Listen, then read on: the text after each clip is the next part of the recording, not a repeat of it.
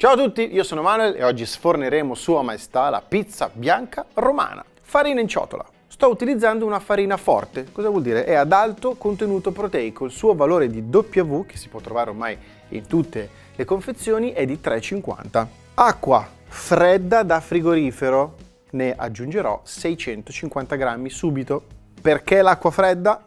Perché in questo caso non avremo problemi di surriscaldamento eccessivo dell'impasto. Io non utilizzerò un termometro, però so che per queste alte idratazioni in cui l'impasto verrà lavorato più e più volte, c'è il rischio che si surriscaldi troppo e quindi abbia dei problemi ad incordarsi. Quello che sto facendo è, come potete vedere, una mescolata grossolana, farò idratare tutta la farina e poi la lascerò riposare 30 minuti. Questo si chiama autolisi. In questi 30 minuti la maglia glutinica inizierà già a formarsi e adesso vi faccio vedere, una volta idratata tutta la farina, com'è il nostro impasto. Deve essere un impasto grezzo, l'importante è che tutta la farina sia idratata.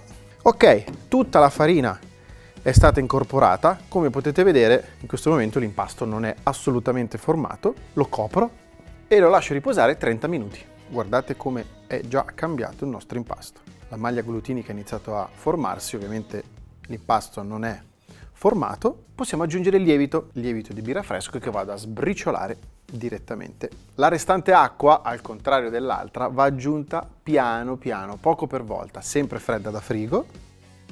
Uno degli errori più comuni è quello di aver fretta di aggiungere l'acqua. Appena vediamo che il lievito si è incorporato all'impasto, aggiungiamo il sale un altro poco d'acqua e andiamo avanti così. Io vi faccio vedere l'impasto a mano, ma voi siete liberissimi di utilizzare i vostri attrezzi a casa, tipo una planetaria. Se vi sembra troppo appiccicoso non vi preoccupate, non aggiungete farina, seguite le indicazioni del vecchio Manu e andrete bene. Mi trasferisco sul piano da lavoro. Una tecnica molto comoda è quella dello slap and fold, cioè schiaffo e piega. Cosa vuol dire? Io faccio proprio uno schiaffo al mio impasto e lo ripiego su se stesso in questo modo. Man mano che darete questi pieghi sentirete l'impasto sempre più tenace sotto le dita. Quando l'impasto inizia a essere molto ma molto meno appiccicoso lo facciamo riposare 10 minuti. Sono passati 10 minuti, partiamo con le prime pieghe. Mano umida, tiriamo una parte di impasto e lo portiamo al centro. Ruoto, prendo l'impasto e lo porto al centro fino a che non rimbocco tutto l'impasto. Lascio sempre la chiusura in basso, copro con canovaccio e ripeto questa azione per tre volte a distanza di 10 minuti l'una dall'altra. Dopo l'ultimo giro di piego ho lasciato riposare per altri 10 minuti l'impasto. Possiamo passare alla laminazione. Inumidiamo leggermente il nostro piano da lavoro, ci trasferiamo l'impasto e iniziamo ad allargarlo. Ricordatevi sempre di avere le mani belle umide. Quest'ultimo passaggio ci farà sicuramente dare più tenacità al nostro impasto, ma ci farà anche vedere se abbiamo fatto un buon lavoro, perché così si scopre se abbiamo formato perfettamente la nostra maglia glutinica e dalla resistenza che fa il nostro impasto mi sembra che ci siamo. Ripieghiamo l'impasto al centro. Guardate già quante bollicine stiamo creando. Creiamo proprio l'ultima tensione, guardate che bello. Ecco qua, lasciamo il nostro impasto a lievitare un'ora a temperatura ambiente coperto con pellicola e dopodiché 24 ore in frigorifero. Il mio impasto ha lievitato perfettamente. Lo trasferisco sul piano da lavoro. Oh, lac. Io non vedo l'ora di farcirla con... Non ti dico con cosa, non te lo dico Adi, non te lo dico neanche a te ma voi nei commenti mi dovete scrivere come la farcite voi a casa vostra o come la chiedete al panettiere. Tarocco più potente e tagliente, stagliamo dei pezzi da 280 grammi. Con queste dose verranno 6 pizze bianche da circa 280 grammi l'una. Un pochino d'olio.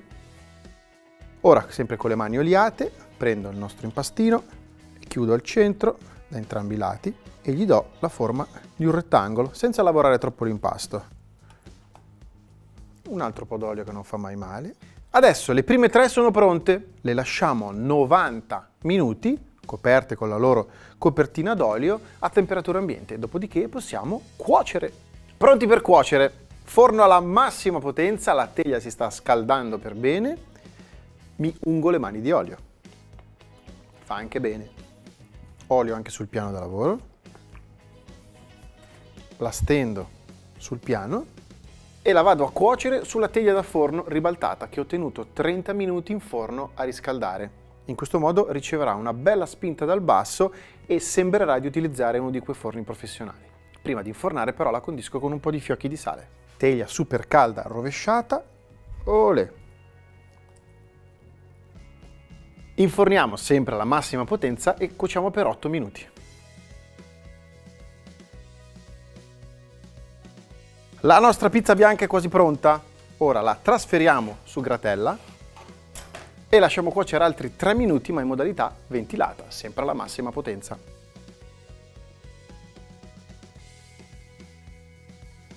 E anche l'ultima.